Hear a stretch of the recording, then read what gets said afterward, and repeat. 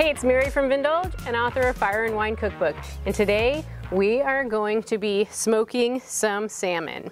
We've been catering for years and one of our most requested recipes and one that people absolutely love is our smoked salmon. And when people ask why it comes out so amazing, I always say it comes down to two things. Start with good quality salmon and just don't overcook it. It's really that simple. And while there are many ways to prepare salmon, like brining or cold smoking or making lox, this recipe is all about simplicity. We are simply hot smoking our salmon with some simple seasoning and it's gonna be amazing. Let's indulge. We are starting with a full salmon fillet. This here is king salmon, also known as Chinook. Remove the belly if it hasn't been trimmed up, and then some of that cartilage that runs along the center of the fillet and then you may need to remove the pin bones. It's best to ask the butcher to do it for you, but if they don't, you'll need to do it yourself. You can use fish tweezers or just any clean tweezers you have around the house. Once the salmon is ready, it is then time to season it. We are starting with a coating of Dijon mustard and then seasoning simply with kosher salt and pepper. Once it's seasoned, you can place it onto your smoker, set to 225 degrees. We are using our offset smoker for this, but the process works the same for any kind of smoker you have.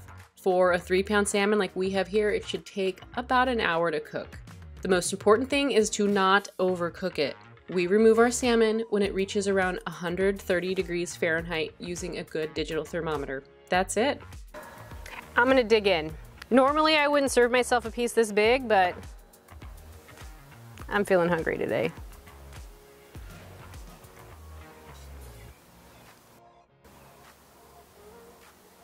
So you can see how tender it is.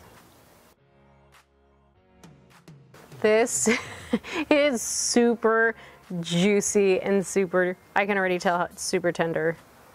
Oh my gosh. It's a work of art.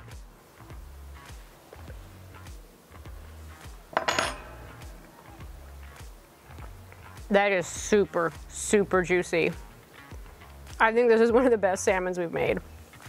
This is so good. All right, I think my cameraman's gonna need to take a quick bite. You gonna cry? I think I might. Here, quick. I, you really need to try this. Oh my God, it's like butter. It's like butter, it's so good. You guys, this is amazing. This is a foolproof recipe. Seriously, don't overcook it. So many people overcook salmon. They're afraid, but we cook this to about 130. That is a perfect temperature. It's totally safe to cook salmon to that temperature as long as you're buying good quality salmon, okay? Good quality salmon. Don't overcook it. Amazing. There you have it. Easy smoked salmon done in less than an hour. And it's super full of flavor and super tender. When it comes to pairing, pair it with your favorite Pinot Noir or Red Burgundy and you got yourself the perfect combination. We hope you enjoyed Vindulging with us. Here at Vindulge, we are all about helping you create great food, drink great wine, and have amazing backyard experiences with your family and friends. You can find this recipe and hundreds more over on Vindulge.com. Cheers!